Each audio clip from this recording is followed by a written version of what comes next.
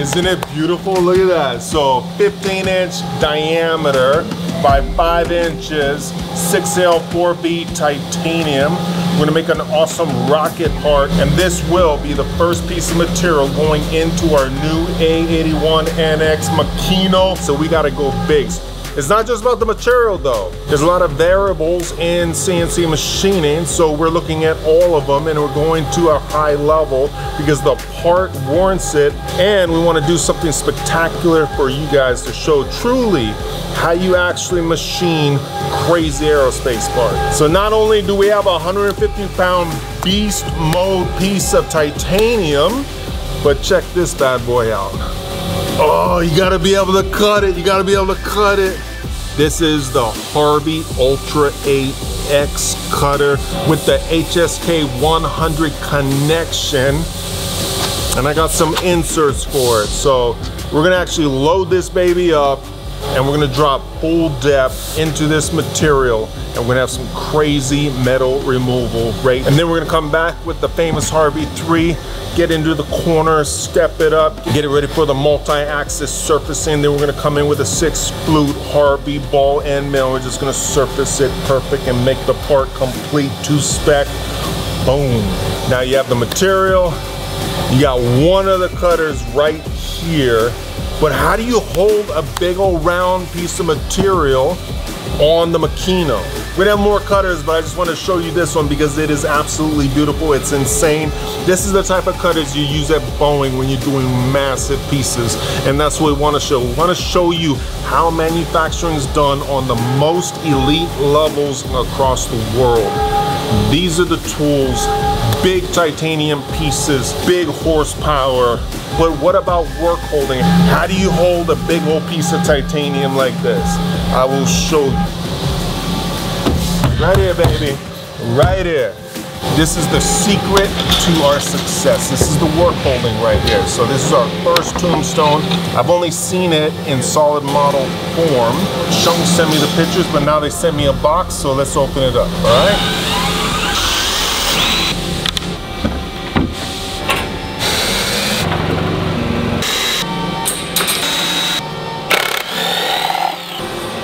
and for the final unwrapping. You know what is truly amazing? There are workers in the US that actually machined this tombstone to print, to model, complete, shipped it out, and now we have it, right? It's about CNC machining, it's about making parts. We look at the machine, that is a bunch of sheet metal and machine parts put together with software that allows us to compete. And this is a tool, a tombstone that's been CNC machined that's gonna get bolted onto that pallet over there and we're gonna pop vices and fixtures and chucks onto this bad boy right here. Ready to wrap this thing? Oh, check it out, check it out.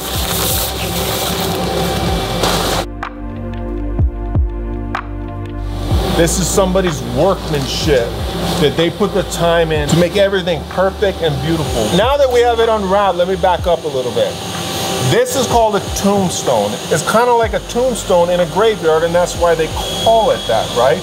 You have four different sides, but you could actually put more sides depending on the types of parts that you're running, okay? This particular tombstone is extra wide because I chose to have two sides instead of four sides. Because once you have four sides, it gets smaller and square, all right? This way, we have a bigger surface, a bigger canvas to actually paint on and make magic happen. And we wanna run some big, legit, crazy parts in this aerospace series that we're doing, all right? So this is the canvas, you got different holes that'll hold the chuck, hold vices in place, we got holes on the backside for vices, but it's an empty canvas. Depending on the application, we put our own holes in and basically put any fixture, any vice, anything on here. And you know what's even better than that? This is the first one. We have a second one coming that's completely different than this one. And last but not least, I just want to say something. Check out that beautiful engraving pockets right there. Schunk. This is workmanship. This is a team of machinists and engineers that engineered this tombstone. that actually figured out how they were going to cut it, what tools they were going to use. They figured everything out and they actually went into machine this to print to the model and it's absolutely beautiful. So all the workers that work with Schunk at Schunk, everybody who actually had any part in actually making this tombstone right here, I just want to salute you guys. This is a beautiful piece of work and it is my honor, Jeff's honor, our shop's honor to actually work hard to do justice for you guys to actually teach this trade to the next generation and to top machinists so that we can all compete and take manufacturing to the highest level. And there you go, a thing of beauty right there. So this is the Rota S chuck from Schunk. This guy is gonna actually get bolted to that tombstone. The tombstone is gonna get bolted into the pallet on this Makino right here. Then we're gonna take that big old piece of titanium, put it in this chuck, and we're gonna run a crazy program and we're gonna get after it. Now, one of the messages that it's important that I wanna drive home is, a lot of people are gonna look at this piece of equipment and they're gonna be like, Titan, you're using that for education. I'm saying, yes, I am. You're using that big old beast of a machine for education. You could be like making all this money. Yes, I could. But at the same time, I believe in this trade. It saved my life. I believe in our kids. I believe in our workforce. I believe in that every country should have a workforce because not everybody of machinists and engineers and people that make things because not everyone is built to be a doctor, banker, a lawyer. Our kids grow up in school and they look at Olympic athletes and they think to themselves, if I work hard enough, I can attain that. In manufacturing, we're hidden behind walls. Great companies making amazing rockets, making amazing ships and ROVs and autonomous cars and just amazing projects are happening in manufacturing, but nobody talks about it, nobody shows it online, and nobody teaches it. So that's the whole point here.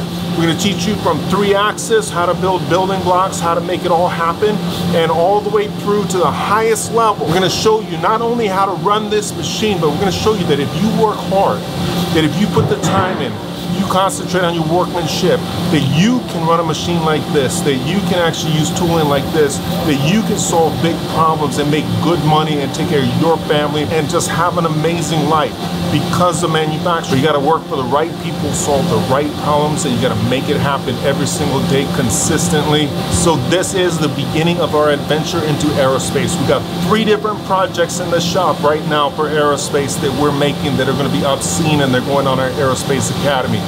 We're gonna have fun doing it and we're gonna completely change the game.